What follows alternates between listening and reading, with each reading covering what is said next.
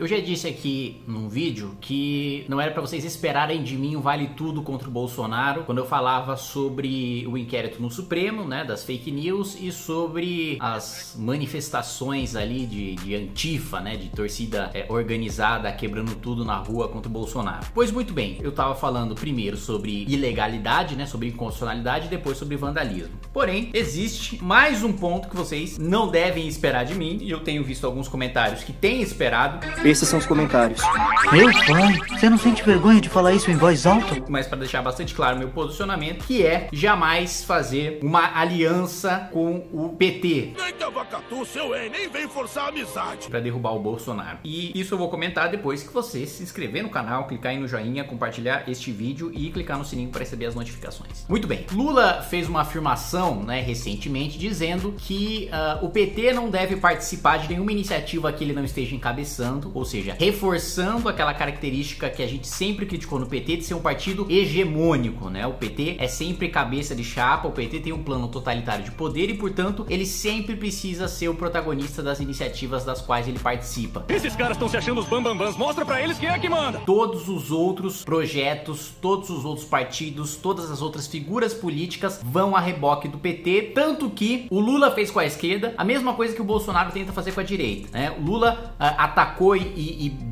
destruiu a Marina, demitindo ela do Ministério é, do Meio Ambiente na gestão dele, jogando boa parte da responsabilidade, que era dela também, do aumento da, do desmatamento na gestão do meio ambiente, e também dizendo que ela era aliada de banqueiros, né? Porque ela tinha o apoio do Itaú e de grandes bilionários ali, porque ela tinha o apoio da, da Natura, e falando que ela queria, na verdade, tirar o prato de comida da mesa do pobre, né? Ou seja, dentro da esquerda, na época do governo Lula, primeiro e segundo mandato, a Marina ficou absolutamente é, destruída. Mesma coisa o Lula fez com Ciro Gomes. A mesma coisa Lula fez com as lideranças do PSOL, que aliás, PSOL, para quem não sabe ou não se lembra, né? É, o PSOL saiu do PT quando Lula, no seu primeiro mandato, propôs como primeiro projeto uma reforma da Previdência. Aí o PSOL, que aliás, nesse ponto tem que elogiar a origem do PSOL, que foi coerente, saiu do governo do PT porque falou: pô, você sempre foi sindicalista, sempre foi de esquerda, a primeira coisa que você faz no governo é fazer uma reforma da Previdência, né? É claro, óbvio que o Lula fez porque o Lula não é bobo, né? Ele não acredita naquilo que ele prega, né? De, de, de que não precisa ter ajuste fiscal, de que não precisa ter equilíbrio fiscal. Ele manteve o tripé macroeconômico, manteve o Palocci na Fazenda, manteve o Henrique Meirelles no Banco é, é, é, Central. Posteriormente, depois você teve o Marcos Lisboa, inclusive, economista liberal respeitadíssimo, também trabalhando nos governos petistas, porque o Lula sabe que o discurso dele economicamente de esquerda é uma grande baboseira e que é um populismo barato, mas que na prática, quando você está na máquina do governo para ter sustentabilidade e crescimento econômico sustentável, você precisa implementar políticas liberais, você precisa ter equilíbrio fiscal, você precisa promover reformas liberais, manter as reservas no Banco Central, como ele fez com o Henrique Meirelles, enfim. Uh, porém, claro, no discurso ele acabou com todas as lideranças de esquerda e manteve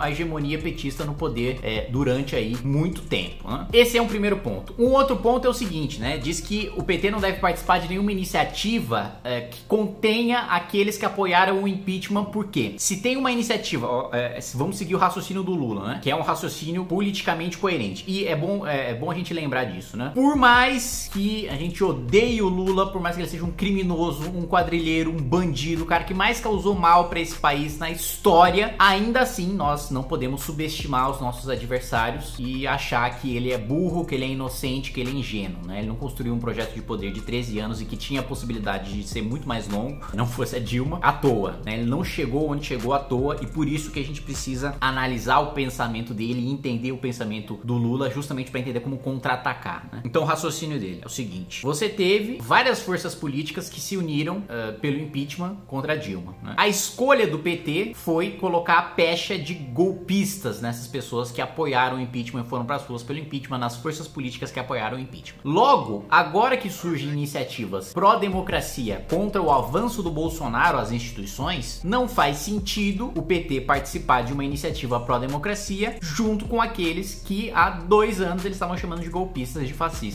Então, o Lula tá muito firme e retilíneo na sua estratégia. Ele sabe exatamente onde ele quer chegar. Ele não quer participar em nenhuma iniciativa que vá diluir o poder do PT, nenhuma iniciativa que vá dar margem para uma liderança do PSB, por exemplo, que é o partido da Tabata, que é o partido do, do da Tabata, perdão, que é o partido do Molon, que saiu do PT, não quer participar de nenhuma iniciativa do PDT, que aí sim é o partido da Tabata, é o partido do Ciro Gomes, é, não quer participar de nenhuma iniciativa iniciativa do PSOL, né, que é o partido do Guilherme Boulos, que é o partido do, do, do Marcelo Freixo, enfim, não quer participar de nenhuma iniciativa desse bloco PSB, PDT, PCdoB, PSOL, justamente porque esses outros blocos de esquerda foram justamente os que mais saíram prejudicados em termos de projeto de poder à época do Lula. Né? Não pensem que por ser de esquerda o PSB, o PDT e todos o PCdoB se deram bem durante o governo Lula. Pelo contrário, você teve um sufocamento da liderança, das lideranças desses partidos e pós prisão do Lula, muitos desses partidos ainda ficaram refém, reféns do lulismo, mas agora todos eles tentam criar suas próprias alternativas de poder para ter um projeto para disputar as eleições de 2022. Então a estratégia do Lula, né, é isolar completamente essas lideranças, né, tentar isolar ou pelo menos isolar o PT dessas lideranças, não utilizar a força e a máquina que o PT ainda tem. Vamos lembrar, né, o PT é um partido poderoso e bem articulado a ponto de acabar de sair de um processo de impeachment, acabar de sair do governo menos popular da história do país, com pior avaliação da história do país e eleger a maior bancada da Câmara dos Deputados. Essa é a força do PT. Sair destruído do poder executivo e entrar com a maior bancada de deputados federais é, na Câmara dos Deputados logo na próxima legislatura, pouco mais de um ano depois de passar por um processo de impeachment e da prisão do seu líder maior, né? E o ponto que eu quero colocar aqui para vocês é óbvio que na política você e a política é justamente isso, você dialogar com pessoas que têm posicionamentos diferentes, né? Se fosse para conversar com gente que concorda comigo, né? Eu virava, eu costumo brincar que eu viraria pastor, só ficaria pregando ali para as pessoas que estão convertidas. Pior que nem, nem, nem dá para utilizar muito bem essa analogia, porque o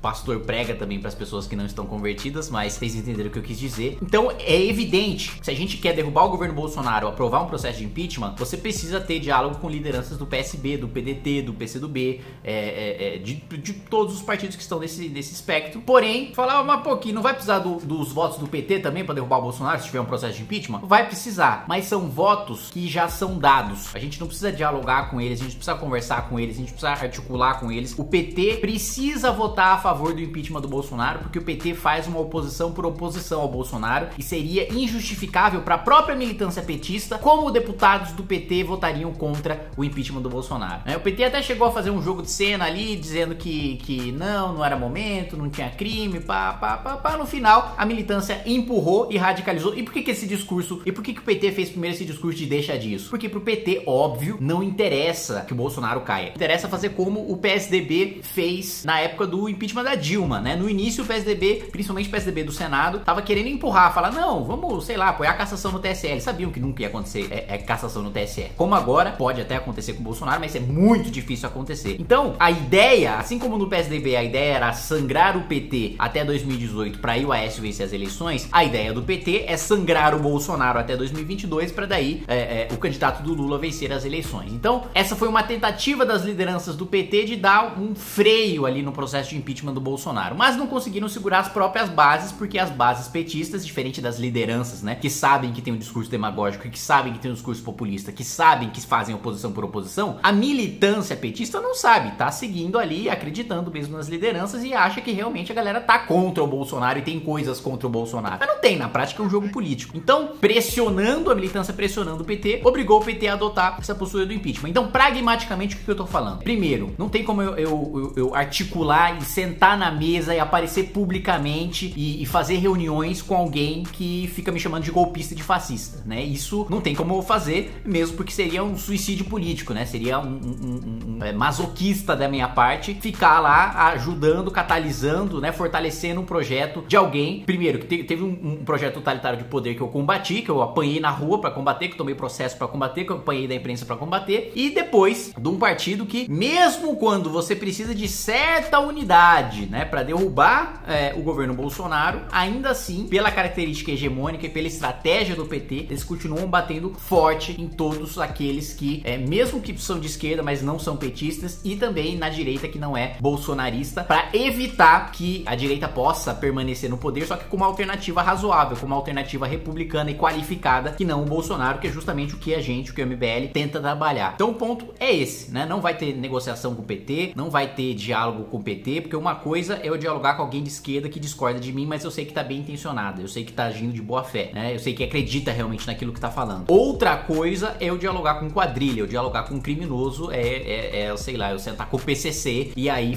começar a fazer negociações é, republicanas com o PCC. Então, isso não existe, né? Então não esperem isso de mim. Diálogo, né, para fazer mapeamento de voto, para virar votos de deputados e, e saber quais aqueles que estão mais suscetíveis à pressão, menos suscetíveis à pressão, fazer esse diálogo com lideranças do PSB, do PDT, beleza. Isso aí, tranquilo. Agora, fazer com gente do PT que está articulando e está trabalhando ainda para voltar com o projeto criminoso de poder, para voltar com o projeto de perpetuação no poder, para voltar com a ditadura da propina, isso aí vocês não esperem de mim. Qual é o meu objetivo? Pra, sendo muito claro e muito transparente para vocês: derrubar o Bolsonaro e construir uma alternativa de poder republicana para a direita. Né? Derrubem ele, vençam logo essa birosca! Essa alternativa vai ser do MBL? Não, não vai ser do MBL, isso também eu já deixo muito claro para vocês, porque não tem ninguém do MBL com idade, com projeção suficiente para ser presidente da República, né? Não tem ninguém que tenha projeção nacional e idade é, o suficiente para disputar uma eleição presidencial. Vai ter que ser alguém de outro lugar, de outro grupo político, mas que tenha ideais que a gente concorde minimamente, né? No mínimo um liberalismo ali econômico, para que a gente tenha uma alternativa em um liberalismo político, né? Que, que não seja um, um, uma direita com pensamento totalitário e hegemônico, como o Bolsonaro tem, né? O Bolsonaro tem um, um, um, um Bolsonaro e seus asseclas ali, a sua caterva, tem um pensamento, tem um método de agir muito parecido com o Stalin, né? O Stalin ele se preocupava muito mais em combater aqueles que estavam no seu próprio espectro político, né? O Lenin, o Trotsky, gente que ele sabia que tinha qualidade intelectual, que tinha articulação, que era bem é, relacionado no movimento revolucionário, justamente para não ter ninguém que ameaçasse a sua liderança. Ele sabia que ninguém do, do espectro político oposto, que nenhum czarista era uma ameaça ao seu projeto de poder, porque porque os czaristas estavam derrotados, estavam humilhados ali, e a decisão do poder se dava dentro daqueles que tinham sido protagonistas na Revolução Russa. Né? Então, da mesma maneira, o Bolsonaro sabe que a maior ameaça ao seu discurso, a maior ameaça né, ao seu projeto de poder é justamente a própria direita que critica o seu projeto de poder, que denuncia seus escândalos de corrupção, que denuncia seus escândalos de aparelhamento da máquina pública e que mostra que não tem nada de liberal no seu governo. Né? Essa é a maior ameaça do Bolsonaro e é por isso que o gabinete do ódio, né, que é a quadrilha de fake news comandada ali pelo Palácio do Planalto, foca tanto em destruir lideranças da direita, em destruir Danilo Gentili, em destruir Amoedo, em destruir Janaína, em destruir é, MBL, em destruir qualquer um que tenha qualquer crítica que não faça parte é, do projeto bolsonarista. Da mesma maneira, devo lembrar mais uma vez que o PT fez. Beleza? É isso aí, acho que o vídeo já ficou longo demais. Aliás, se você tá vendo até esse ponto é, do vídeo, comenta aí e diz aí se o vídeo tá ficando muito longo ou não, para eu dar uma calibrada aqui também nos vídeos do canal. Beleza?